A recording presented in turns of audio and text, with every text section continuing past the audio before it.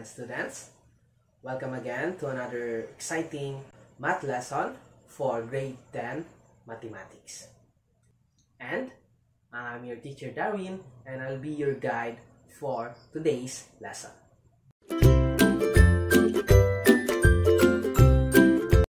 Okay students, let's have a review on our lesson about the mean, median, and mode. Given a standard deck of cards, let's draw 7 random cards. Okay students, after drawing 7 random cards in a standard deck of cards, and remember students that we need to arrange those cards from least to greatest. Okay students, let's start by finding what is the mean. Okay, so on that given 7 cards, let's find their sum.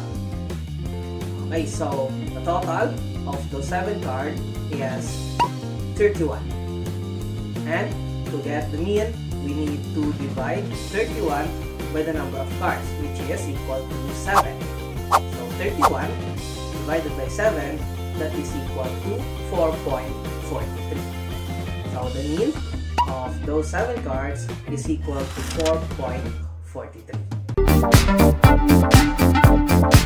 Okay students, so from uh, those 7 cards, so we need to flip over the cards on opposite ends until we reach the middle. So let's start. Okay, so the middle card is 5 of hearts. So that means our median is 5. Okay, students, finally, let's move with mode. So the mode is the most frequently appearing number on the given cards. So what do you think? So the mode of those cards is 5. Okay, students, so that is our review on the measures of central tendency. Before we proceed with our topic for today, let's have first an activity. This is to guess the word. Given uh, shuffle letters, you need to guess what is the word. So we have three shuffle words on the screen and try to guess what are those words. Okay, students, very good. So the first word is quartiles. Second is data. And finally, the third one is ungroup. Okay, so basing from that activity, what do you think is our next lesson? Okay, so very good. That is the quartiles of ungroup data using the Mendenhall and Sincich method. And students, before we proceed with our lesson, make sure that you have with you your module and your pen and paper.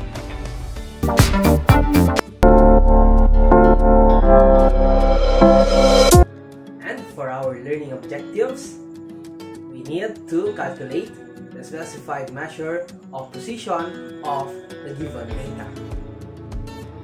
Specifically, quartiles of group data using the Mendenhall and Sincich method. Okay, students, let's start by defining what is a quartile. So, quartiles are the scores which divides the data into four equal parts. 25% of the distribution are below the first quartile. 50% are below the second quartile. And 75% are below the upper quartile. Remember that in this quartile, we have four equal parts. Okay, let's move on now with Mendenhall and Sincich method. Using statistics for engineering and sciences, we have defined different method of finding quartile values. So this method has a formula of q sub k is equal to k over 4 times the quantity of n plus 1 wherein u sub k is the position of the 8th quartile and k is the nth quartile when n is equal to 1, 2, and 3. And n is the number of elements in the given set of data. And by using the Mendenhall and Sincich method, we came up with these formulas. So for the lower quartile, or the q sub 1, we have 1 fourth times the quantity of n plus 1 wherein the value of k there is 1 for the lower quartile. Next, we have the middle quartile or the q sub 2. So that is equal to 2 over 4 times the quantity of n plus 1. And finally, for the upper quartile or the q sub 3, that is equal to 3 over 4 times the quantity of n plus 1. So, take note of those three formulas. Okay, in continuation with the Mendenhall and Sincich method, we have steps in solving the quartiles of an data. So the first one is we need to arrange the data in ascending order. Second, we need to calculate the position and the values of q sub 1, q sub 2, and q sub 3 or the lower quartile, the middle quartile, and the upper quartile. Okay, students, for you to gain knowledge on using the Mendenhall and Sincich method, let's have an example. Sample 1 if n is odd or the number of data is odd. Below are the scores of 15 students of grade 10 fire in a 50-item summative test. Find the lower and the upper quartile. So, the final question, we need to find the lower and the upper quartile, which means we are only finding for the q sub 1 and the q sub. Okay, so given this data 23 36 19 20 47 6 14 35 41 28 32 50 11 25 and 44 okay students let's proceed now with our solution and from that given data if we count the number of data we will have 15 Okay, so let's proceed with our steps in solving for the quartile of ungroup data. First, we need to arrange the scores in ascending order. So, given that random scores of students, we need to arrange that. So, the arrangement 6, 11, 14, 19, 20, 23, 25, 28, 32, 35, 36, 41, 44, 47, and 50. So, this is the arrangement in ascending order. Let's proceed with our step 2. We need to calculate the position and the value of Q sub 1 or the first quartile. So, using the formula for the first quartile, we have Q sub 1 is equal to 1 fourth times the quantity of n plus 1.